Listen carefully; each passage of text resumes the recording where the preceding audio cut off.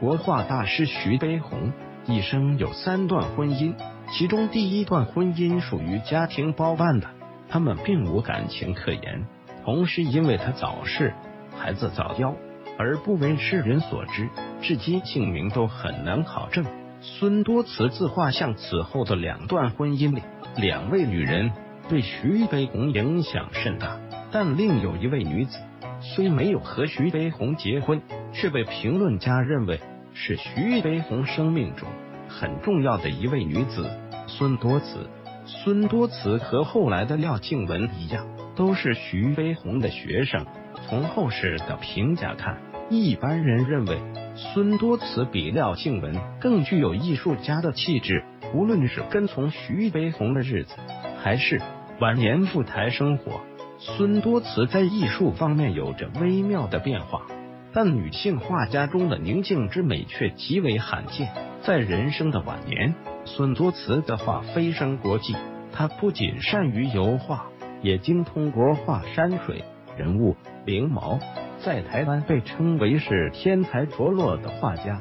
孙多慈晚年的作品，也是孙多慈本人最喜欢的作品之一。孙多慈和徐悲鸿的相识和时代颇有渊源。但和修成正果的鲁迅和徐广平、沈从文和张兆和不同，孙多慈和徐悲鸿都有着性格上的弱点。基于这样那样的原因，最终彼此错过。因为孙多慈、徐悲鸿和当时的正室蒋碧薇关系越闹越僵，蒋碧薇将徐悲鸿画给孙多慈的作品撕个粉碎，徐悲鸿对他就越不感兴趣。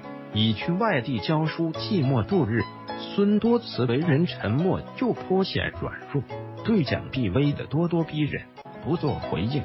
有几年时光，他和徐悲鸿以信件传情，深受双方友人支持。许绍帝几年后，蒋碧薇和徐悲鸿正式脱离关系。有人撺掇孙多慈和徐悲鸿结合，但孙多慈的父亲不愿意。孙多慈不敢反驳，几年后居然悄无声息的嫁给了当时的浙江省教育厅厅长徐绍帝。孙多慈和徐悲鸿的感情就此结束。虽然心底还埋着对亦师亦友的徐悲鸿有眷恋之情，但从此人将天各一方，一些情感将永在心间。孙多慈嫁给了的许绍帝，那是怎样的一个人呢？孙多慈创作的《自由之歌》。在某些当代的人的回忆资料里，徐少帝简直就是一个坏蛋。曾呈请上级要求通缉堕落文人鲁迅和郁达夫是朋友，却被怀疑和王映霞有染。郁达夫在公开的文章中对此事有披露，并因为这份怀疑，一九四零年三月两人离婚。徐少帝在其中所扮演的角色很关键，这其中的真假又有谁知呢？然而，令人大跌眼镜的是，可靠的资料显示，孙多慈和许绍帝相识正是由王映霞的介绍。许绍帝和孙多慈相识时，妻子病逝不久，家中有三女，其人官居浙江省教育厅厅长。大约孙多慈的父亲对这个女婿挺满意。文从沈梦了解，相识不久，许孙两人就结婚了。性格弱势的孙多慈死后和许绍帝度过了三十多年时光，一个画家，一个政客，也似乎没有多少浪漫可言。事实上，他们的感情比我们所了解的要深刻的多。从一家人于一九四二年在浙江丽水大祭的一次游玩，我们可以想象其实的场景。当时由于时局所限。浙江省政府迁往丽水，当地风景名胜较多。一九四二年，许绍帝陪同孙多慈三个女儿以及岳父同到丽水大祭避暑。这里海拔一千多米，田园村落，景致宜人，丘陵起伏，心旷神怡。其中，此处以高达百米的雪花季颇为引人。上百米的流水飞瀑落下时。飞花四溅，气势雄伟，声如洪钟，峭崖壁立，景色迷人。对这风景，许少帝赞叹不已，孙多慈也颇为欣赏。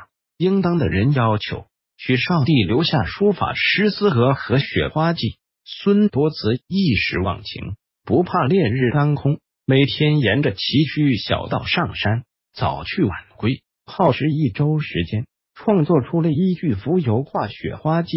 离开此地时，孙多慈将自己所创作的油画悬挂在江门上，一路张扬，乡民看到指指点点，传为佳话。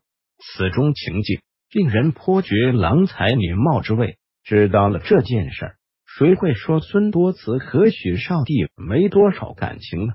就在此时前后，孙多慈为许少帝诞下两名男婴，他们的生活颇为惬意。但毕竟不是同路人，丈夫将更多的时光投入在他的行政生活中。孙多慈的心中始终有徐悲鸿的位置，也许这就是人生的无奈吧。不是时时事事都能如人心意，但他们夫妻的那份情谊，外人是不能尽窥全貌的。